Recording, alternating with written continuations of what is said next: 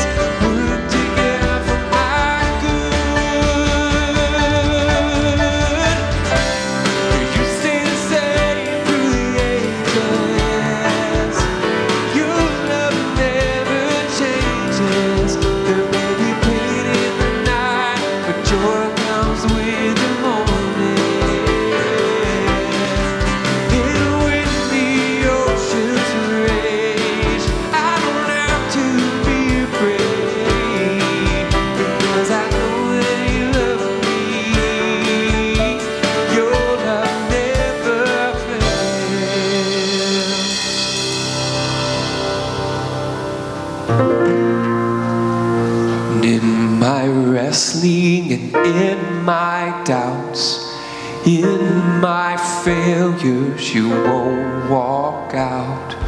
Your great love will lead me through. You are the peace in my troubled sea. Whoa, you are the peace in my troubled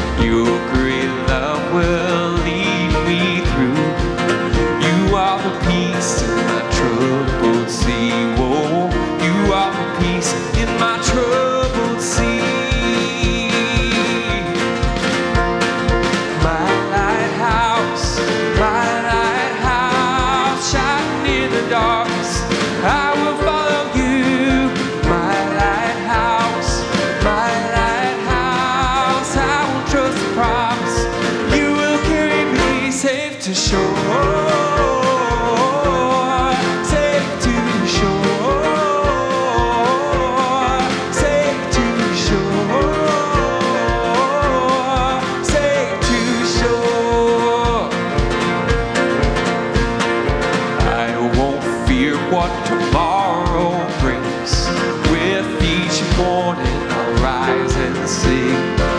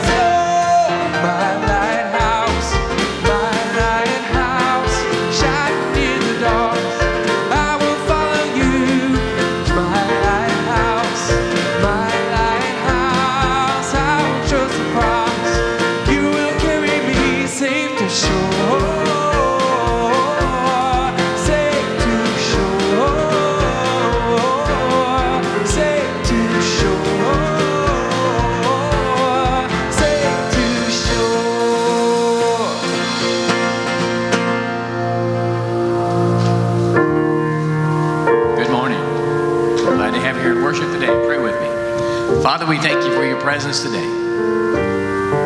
Hear our words of praise. We love you, Father. We thank you for this life that we lead. Be with us in worship. Teach us from your word and nurture us in faith. In Jesus' name we pray.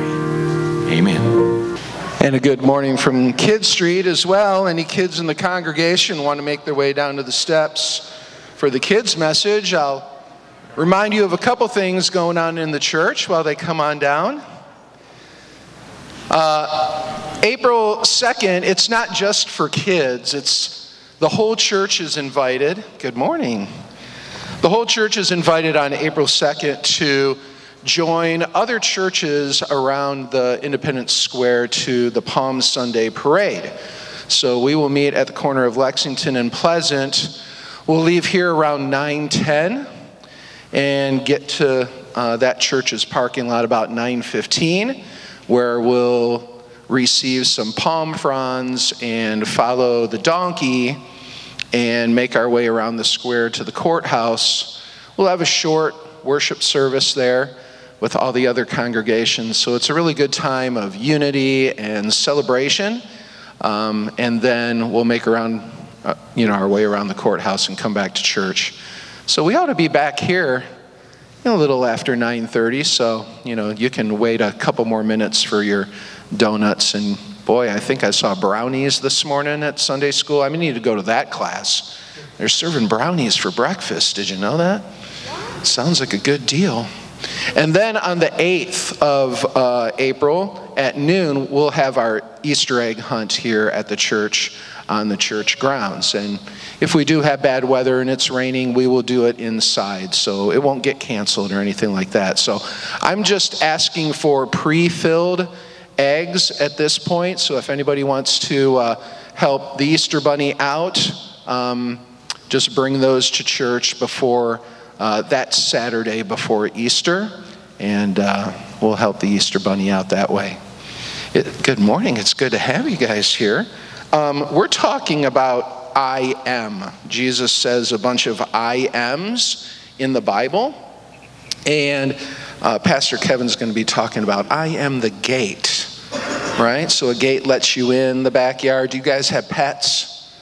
Yeah, so if you leave the gate open, does the pet run away? Yeah. Or you let the pet out to go to the bathroom, come back in, right? Yeah. He doesn't run away. That's a good that's a good pet. Yeah. If my cat gets out, boy, we have to chase it all over the place. She'll come back eventually, right? But, you know, I was thinking about that and I was thinking about a toy like this. Do you guys ever play with a yo-yo? Right? So, if uh, you know, if you let it go, it follows the string. It's supposed to go back to my hand, right? Well, what would happen if I didn't have the string? Somebody want to cut it for me? Here. You have so many yo-yos. Yeah. All right, so the string got cut. What's going to happen when I let go? Is it going to come back to my hand? Oh, man. Right? There it goes. Yeah, you got to have the string, right? So Jesus says, I'm the gate, right? Follow me, right?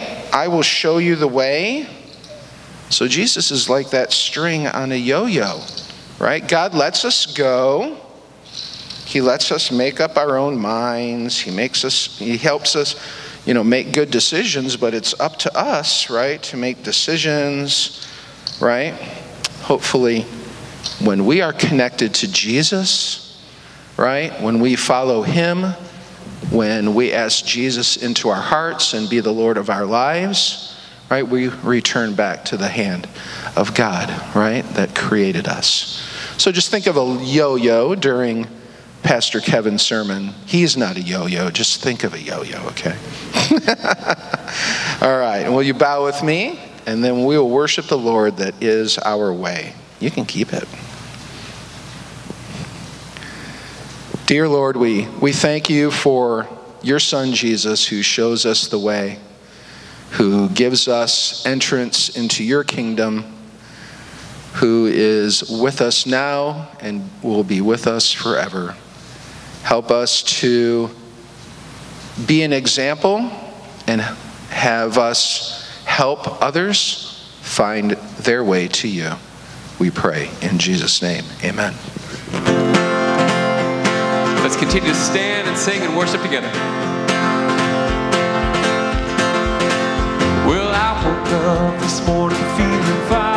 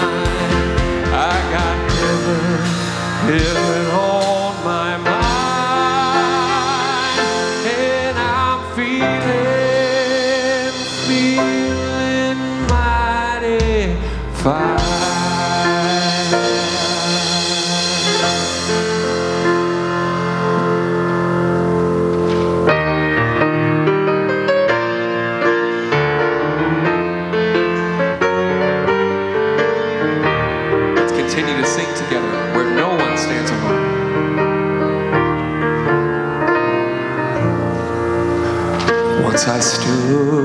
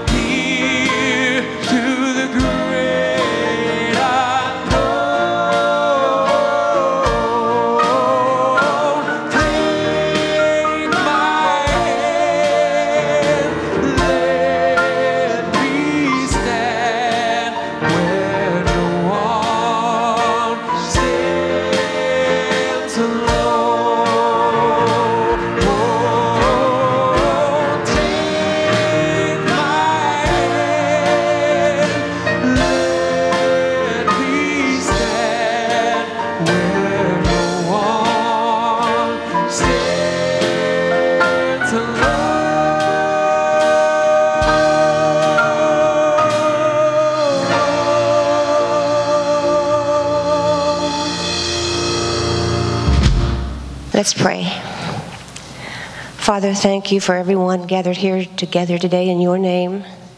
Hear their prayers. Lord, take what we give back to you today and use it. Um, also, we would like very much for you to open our hearts to each other and to your word and to Kevin's message. And it's in your name we pray. Amen.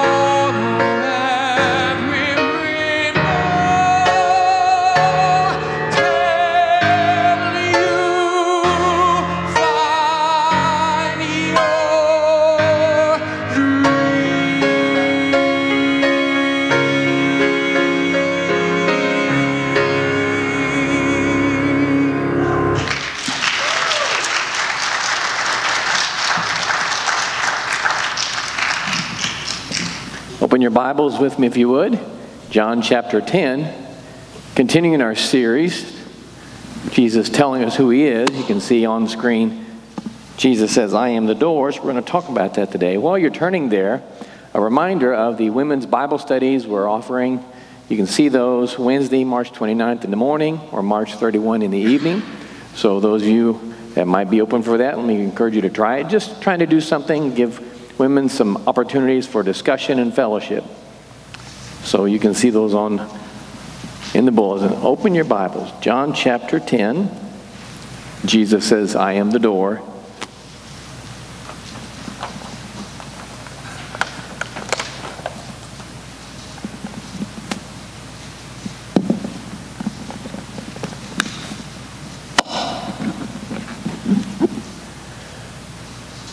As always, we begin with prayer, a time for you to have an opportunity to talk to God face to face.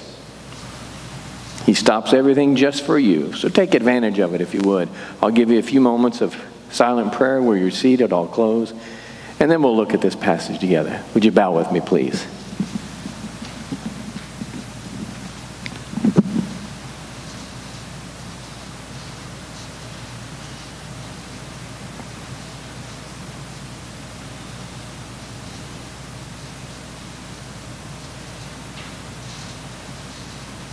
Father, again, we thank you for your presence, for an opportunity to worship. We thank you, Father, for allowing us to live in this day and time when we can worship in safety and comfort.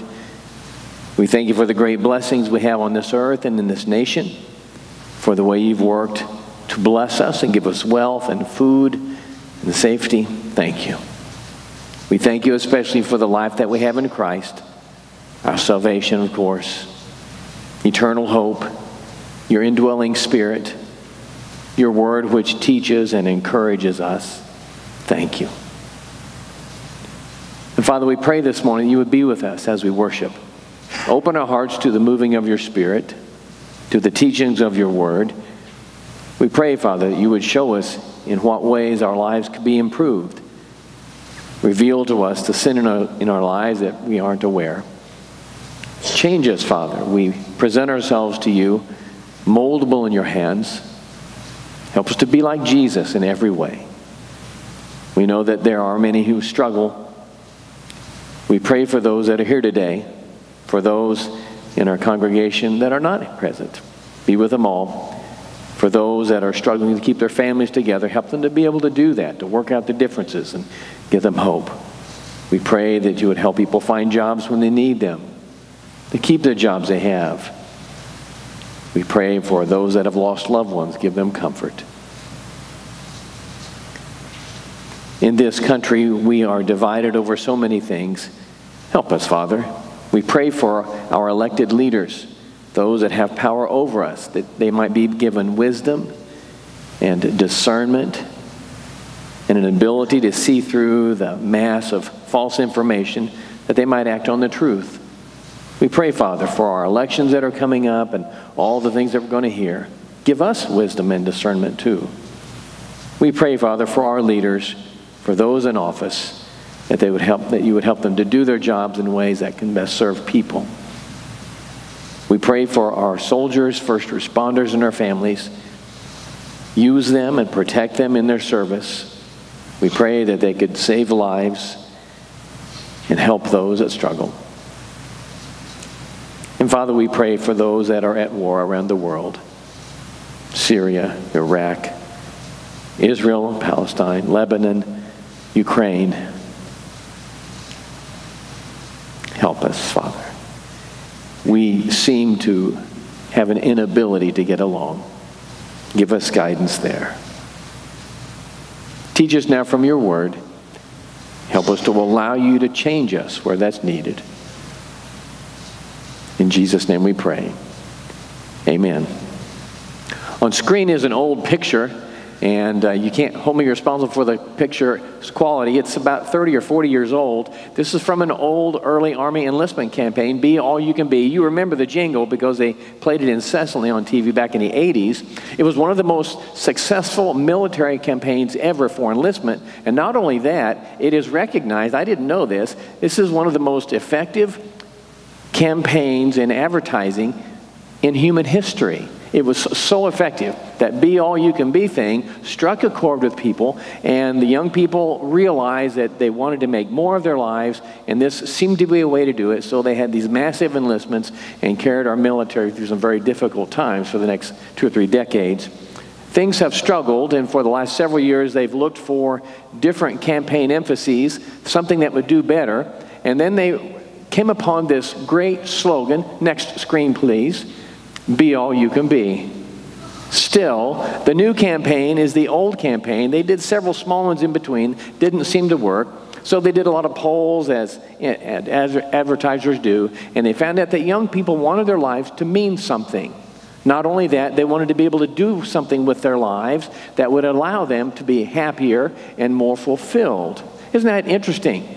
So, this one phrase, be all you can be, seemed to help people connect in different generations with the idea that they want their lives to be better. They want their lives to mean something. They want to have a purpose. They want to have what we would call an abundant life. And interestingly enough, this is in a culture that has everything. And we have just literally millions of younger folk who are struggling to find meaning and purpose and fulfillment in this life still. Even though we have everything, there is that common need for fulfillment, isn't there? I wish I could say this is a recent development, but it isn't. We have always wanted to be more than we are. We, collective humanity, have always struggled with finding meaning and fulfillment in life. And Jesus understood that. He understood the angst of his day and of our day. And so in the passage you're going to read, he addresses that very strong and felt need for fulfillment and abundance in this life. So follow along if you would. In John 10, I'll read the first 10 verses. Jesus talks about offering the abundant life. Truly, truly, I say to you, he who does not enter by the door into the fold of the sheep, but climbs up some other way, he is a thief and a robber. But he who enters by the door is a shepherd of the sheep. To him the doorkeeper opens, and the sheep hear his voice, and he calls his own sheep by name and leads them out. When he puts forth all his own, he goes before them, and the sheep follow him because they know his voice. And a stranger they simply will not follow, but will flee from him because they do not know the voice of strangers. This figure of speech Jesus spoke to them, but they did not understand what these things were with which he had been saying to them. Jesus therefore said to them, I am the door of the sheep. All who came before me are thieves and robbers, but the sheep did not hear them. I am the door. If anyone enters through me, he shall be saved and shall go in and out and find pasture.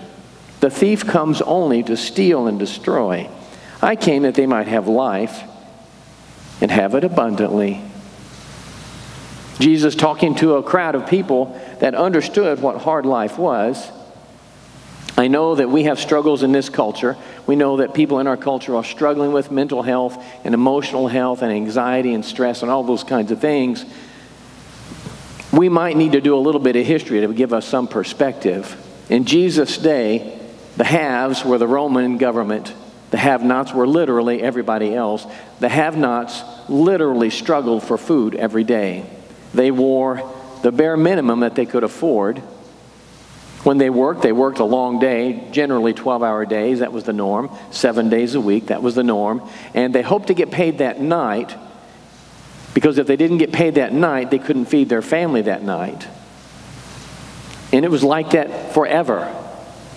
They had never known anything else. And they struggled for life. Not only that, there was no hope that things would ever change because the Roman government that was so oppressive, that taxed them at an 80% level, that literally planted soldiers on every corner, in every conversation, monitoring everything you did. They were the most powerful military on earth, and there was no hope of overthrowing them. And to those people, they needed to hear that somebody could help them. So Jesus began talking about the sheep and the shepherd and how he was the door. And he began to talk about the sheep needing a shepherd, and he portrayed himself as that shepherd that could lead, and how when people found him, they would know his voice and follow them. And they didn't get it. So if he finally said, Listen, I am the door. And if you follow me, I'll give you abundant life. And they understood that.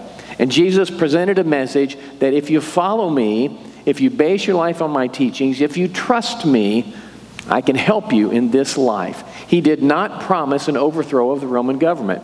He did not promise easier times. He did not promise anything that would change in their situation, except for the fact that when they lived a life according to his teachings and when they trusted him with their lives, that their lives would be better, that they would have this thing called abundance.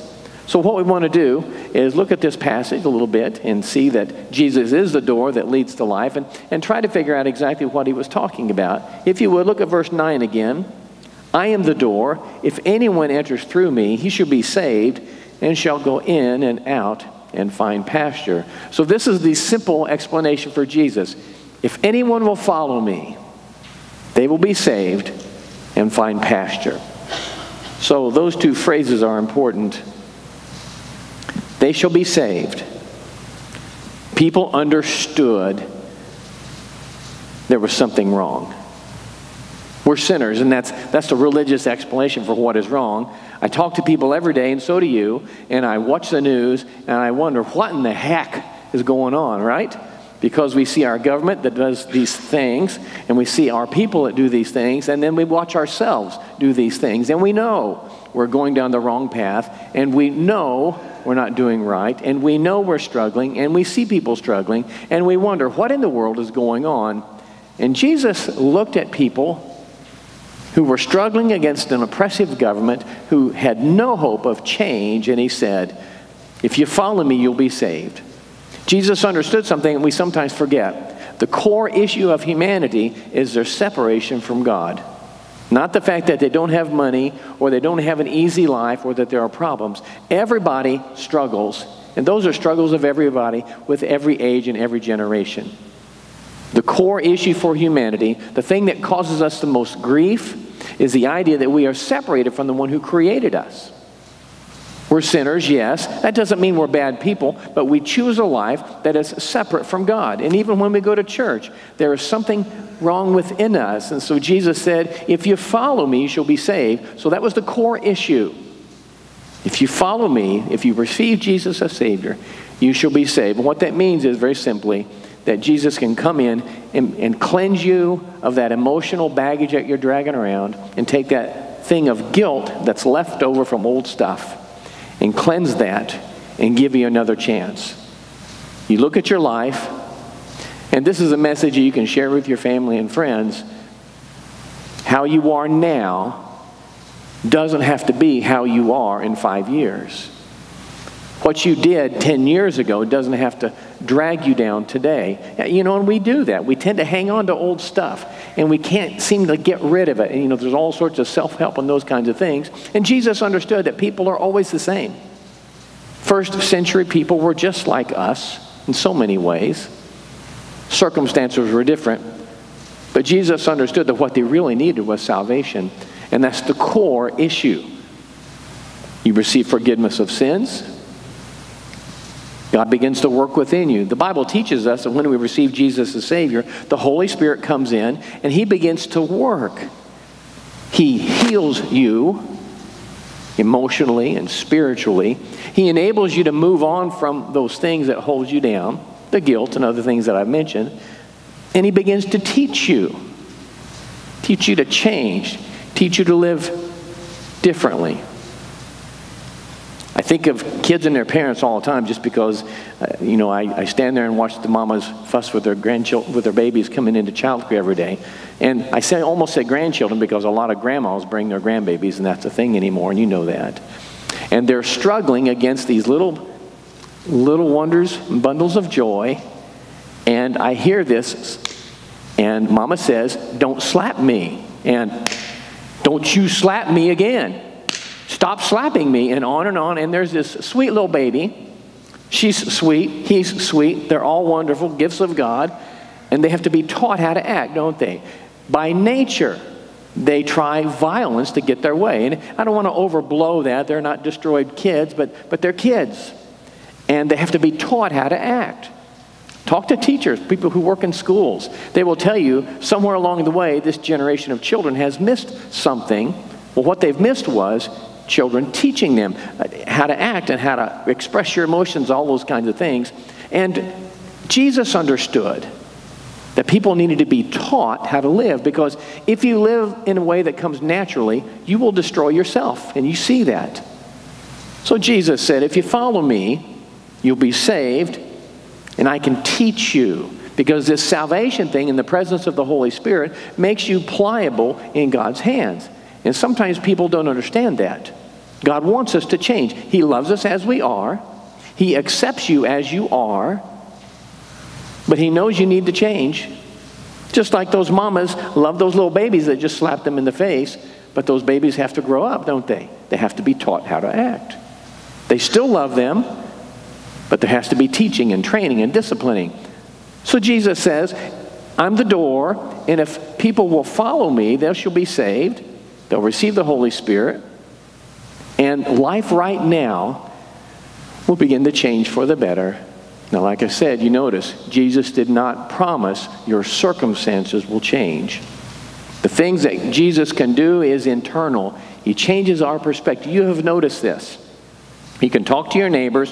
One neighbor has a nice house, a nice job, they're all healthy, and all he does is complain and gripe about his miserable life, right? And then you can go down the street and find another neighbor who has a nice house and they're healthy and a good job. And they can't say enough good about their life. What's the difference? It's their perspective and how they look at life. Jesus can change us. He can help us to have a different perspective regardless of circumstances. Now, sometimes God will work to help us change circumstances, but don't count on that. Instead, begin to understand that the abundant life comes from within. There are people all over the world, literally, that have very little, and that they experience this abundant life that God can give. The other idea here, they shall have abundant, they shall be saved and have green pastures, meaning they will begin to experience a sense of fullness in life. It never ceases to amaze me when I hear stories and testimonies of people who come from hard times that they're pretty happy. Not always. They're sometimes miserable, and I understand that. But a lot of times there are Christians out there in miserable circumstances, and they don't complain a bit. And they're thankful for what they have. You see, it's something that with, is within you where you are taught and you allow the Holy Spirit to shape your perspective, and God helps you to be thankful for what you have. I think of this often when I think my life is worthless. You know, and I, I, I don't know what's going on, but I, I wake up in the middle of the night a lot, and my hormones are raging, and I don't understand any of that. But when I wake up in the middle of the night, I am discouraged with my life and think I'm a failure and think, you know, I've got to do something. My life is terrible. And I've found that if I start doing that count your blessings thing, remember that old song? Count your many blessings, name them one by one. You know, that works. You know, that's a very Christian thing to do. Counting your blessings isn't just a balance sheet of good and evil. Counting your blessings is a way of acknowledging what God has done in your life. So I start thinking of that. I've got a woman that tolerates me well. I got kids that like me. I've got grandkids that think I'm the bomb. And all those things. I eat well, obviously. And I'm wealthy, wealthier than most people that have ever lived on the planet. And so are you. And if we all go through that and we begin to practice this idea of thankfulness and thanksgiving, God begins to change our moods and our perspectives. This is one of the ways that Jesus can lead us to greener pastures because scriptures teach us how to think and how to be realistic with our lives because, again, our emotions, they fluctuate with everything, with, with sometimes hormones, with sometimes diet, with sometimes today. And we struggle. You know this, you watch the news. There, are, there is an entire generation of young people now struggling now because three years ago they missed a few months of school. And I don't fault them at all. They're young kids, they don't know what's going on. They're terrified of life. And what they have to learn to do is look differently, don't they? Because nothing's really different I mean, everything's different, but everything's the same. You still have to get up and go to school. You still have to grow up and get a job. You still have to work at relationships. You still have to buy food. And nothing in life has really changed. But for some reason, what we've been through as a nation with the COVID and all those things has changed the way people deal with life. Jesus said, All right, I'm the door. You want an abundant life. This is what you have to do follow me. Trust Jesus as Savior. And without changing the situation, Jesus can work in your life and change you and change your perspective and give you hope and give you courage and help you. On screen is a message. Read this passage with me. For the word of the cross is to those who are perishing foolishness, but to us who are being saved, it is the power of God. Sometimes, and I've found myself doing this, sometimes we're critical of people and preachers who talk about getting saved all the time. And there was a time when I tried to minimize it because there were other things that were just as important. And I missed something. And what I've realized was that Jesus knew exactly what we needed. We do not need therapy, we need salvation and the way that God can work in our lives. And that's not to be critical of therapy at all. But most of us don't need therapy. Most of us need to allow God to teach us what we need to learn. Most of us need to allow God to change the way we think about ourselves to change the way we think about our family, to change the way we think about our perspectives, maybe even to be more thankful for what we do have. Because when we respond to God's call to follow Him, then we begin to experience this thing called an abundant life. Now, Jesus drew a contrast between Himself, the true shepherd, and the true door, and those thieves and robbers. Thieves and robbers were people who claimed to have an answer, but didn't. Thieves and robbers were people who offered religious artifacts for sale, or religious rituals for sale, or religious rituals for sale. See the pattern? Religious charlatans have always been the same for sale. Give me your money. That's not the answer. He said those people are thieves and robbers, and that's why he was doing it, because for some reason, people are very susceptible to religious charlatans and false messiahs and those kinds of things. And so were the Jewish people. They had had several messiahs. Christians have had several messiahs. You know, Christian groups over the centuries have appointed people and recognized people as Messiah, the anointed one that was going to solve their problems. People want that. And Jesus said, They're all thieves and robbers. I'm the one that can help. And Jesus doesn't promise a changing of circumstances. He promises a change of heart. He promises a Holy Spirit that lives within us that helps us and encourages us and nurtures us. He promises us that He will teach us as we study Scripture. And that's why Bible study is so important because that's the way God teaches us.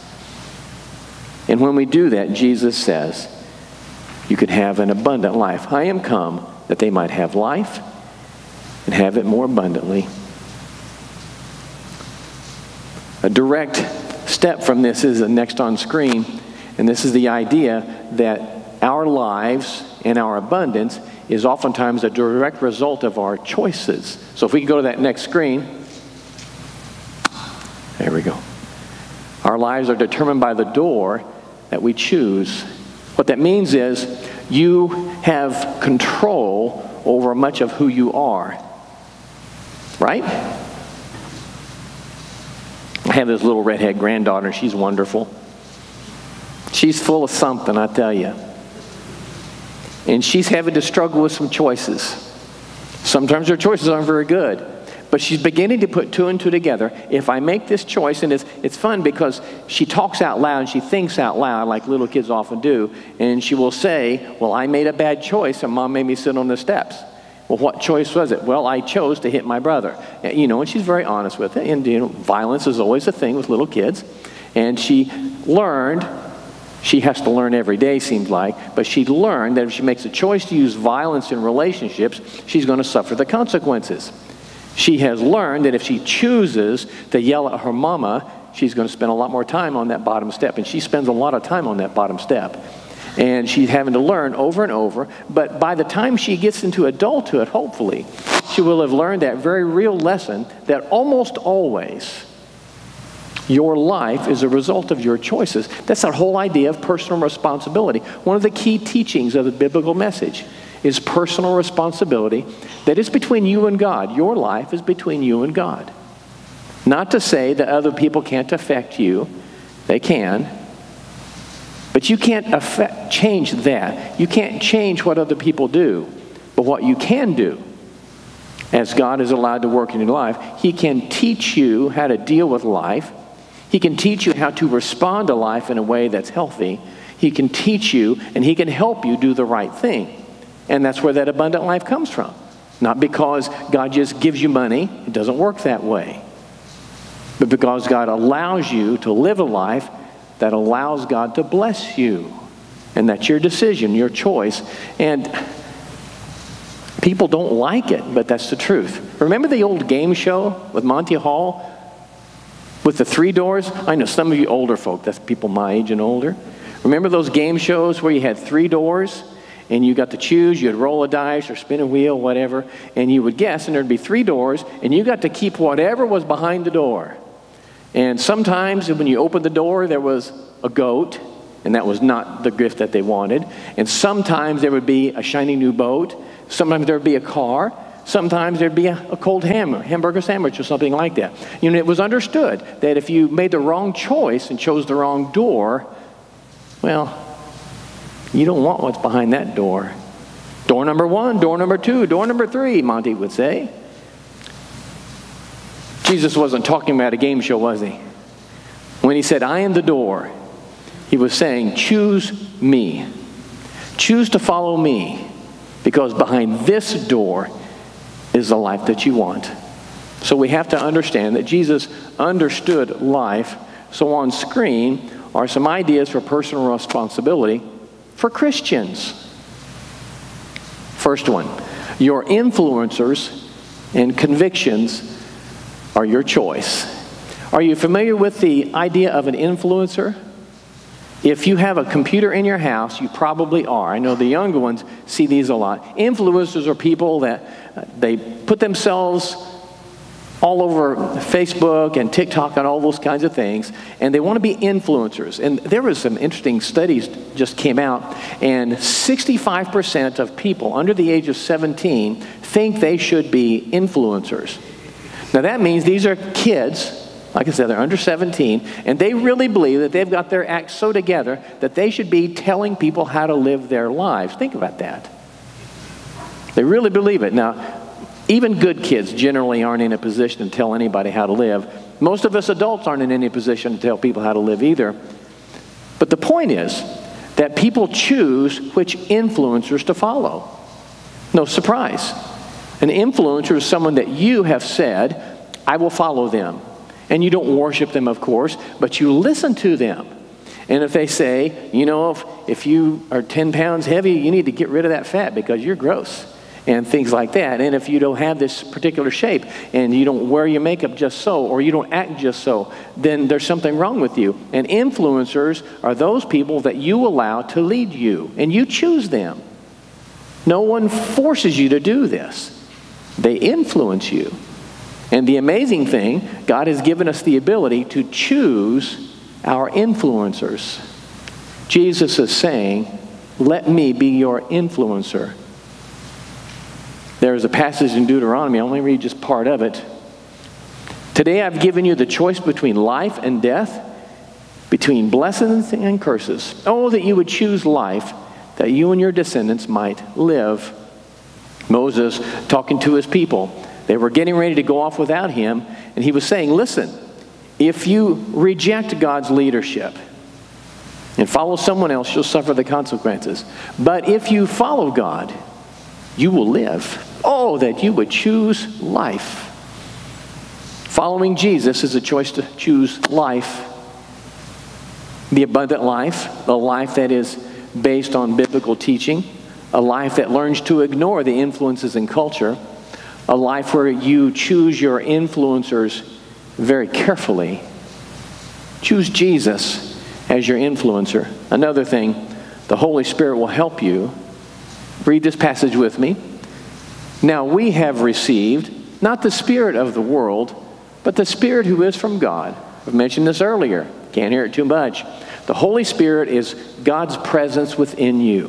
When you receive Jesus as Savior, God moves in. It's nothing weird or bizarre, but it's not something you're going to hear anywhere else. Literally, God's Spirit comes and lives within you. And I don't know where or how, don't have to. God's presence is with you. What that means is you are never alone. Whether it's at home in front of a screen and you're discouraged, whether it's in a hospital emergency room, whether you're driving around, it doesn't really matter where you are. God is with you as follower of Christ, encouraging you, helping you, enabling you to make good choices. So, this whole idea of personal responsibility is something that's so important that God says, listen, if you will open the right door and you let me, I will come and be with you, and you will never be alone. One other thing, and you can see this on screen God can help us to think clearly. Read that verse with me, very short. We have the mind of Christ. What that means is, when we look at Jesus and saw the way he dealt with sin and resisted evil and was able to choose and make those choices that allowed God to bless him, that's the mind of Christ. That doesn't mean you know everything, it means you have the abilities to live as Christ lived. Jesus was the example, of course. Remember, he's called the second Adam. Remember, the first Adam messed up, right? Jesus is called the second Adam. He's the one who got it right. He demonstrated that yes, you can do this. You can live a life, a life that God can bless. You can live a life where you can move on from some of your past experiences. You can live a life where you control yourself and your passions and your emotions and all those things. The mind of Christ is your ability to understand and make choices and follow Jesus. God doesn't care what kind of job you take. Mean, He may have created you for a particular vocation, but it's up to you. He gives us a lot of freedom. He doesn't particularly care about your fashion choices as long as you cover everything that needs to be covered, right? And, uh, and that's a thing. And God doesn't particularly care what kind of car you drive or what you park in your garage or anything. You know, people ask me, what kind of car do you drive? I don't know. He just parks it next to his Harley, you know, that kind of thing. And I'm joking, of course. He doesn't care about those things. What he cares about is your heart. So when Jesus says he will save you, it means he'll change your heart. When he says he wants to help you, that means he wants to help you live. And when he promises you an abundant life, he's not talking about all the money you want. He's talking about, let me give you a life that's worth living. Where when you're 60 and 70 and 80 years old, you're not going to think, gosh, I blew this. But instead, you're going to be able to see that you have surrounded yourself with people who love you. You have invested yourself in events and lives and situations that have brought blessings to you. And you can say, I have a good life. On screen is this one picture. Let's make a deal. That's the game show that I talked about. Again, it's just a joke. It's a goofy game show. Strangely enough, when this was on TV, we thought it was good, didn't we, guys? And I know you, you young ones are thinking, wow, what a clownish show. Yes, it was. But in those days, it was wonderful. And we all understood. And we all understood the message. Make careful of your choices because they dramatically impact your life. So on screen is this final thought choose the door that is a life of devotion for Jesus because he really is the only one that is the true door. Everything else that promises you abundance is a thief and a robber.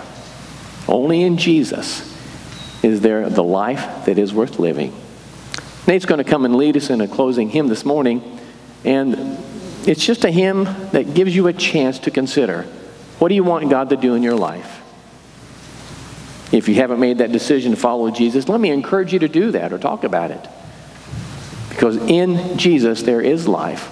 There are other choices you have to make, of course. Make those in a way that will allow God to work with you. If you want to make something public, you can do that too if you'd come forward. Nate, would you come and lead us?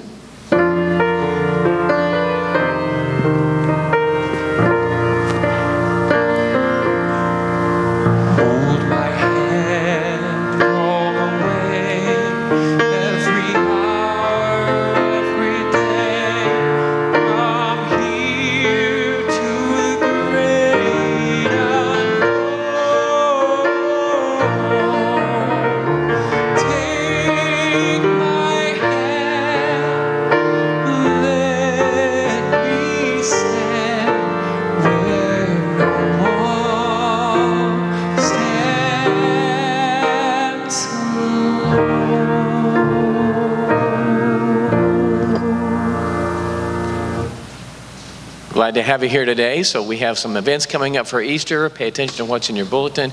And remember, for those of you that are interested in those women's ministries, to look in the bulletin and, and come and get involved and uh, meet some great people.